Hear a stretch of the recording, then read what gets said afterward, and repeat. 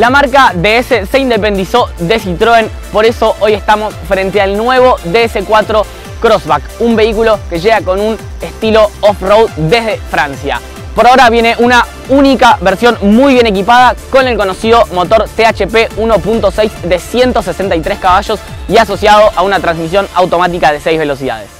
Del diseño de este DS4 podemos destacar en el frente, por ejemplo, la parrilla, el marco de la parrilla totalmente cromado y el interior con un diseño estilo panal. En los laterales las llantas oscurecidas y los bordes de las ventanas totalmente cromado. El interior es un poco más sobrio y no tan llamativo como afuera. La posición de manejo es buena, con doble regulación de volante y reglaje eléctrico para la butaca del conductor. Las plazas traseras son limitadas longitudinalmente y en altura, y tanto su ascenso como su descenso es complicado.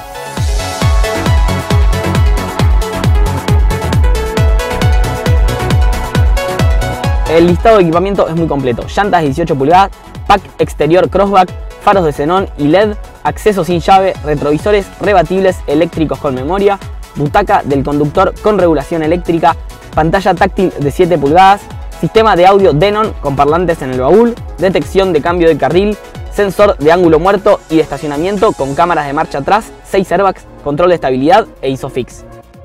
El DS4 cuenta con un motor conocido en el país de excelente respuesta. En ciudad el equipo de suspensiones no responde de la mejor manera mostrando algunas durezas. En ruta se nota su mejor desempeño, con andar sólido sin presentar contras a destacar. El despeje, algo más lento de lo normal, contribuirá con superar algunos terrenos en mal estado.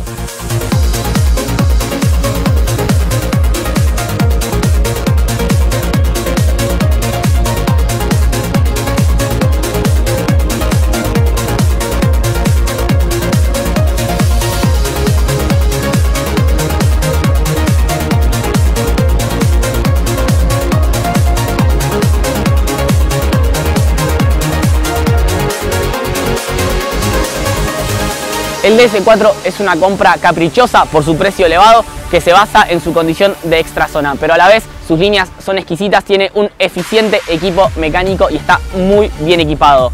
Tiene más calidad que los medianos regionales, pero su precio es mucho más elevado.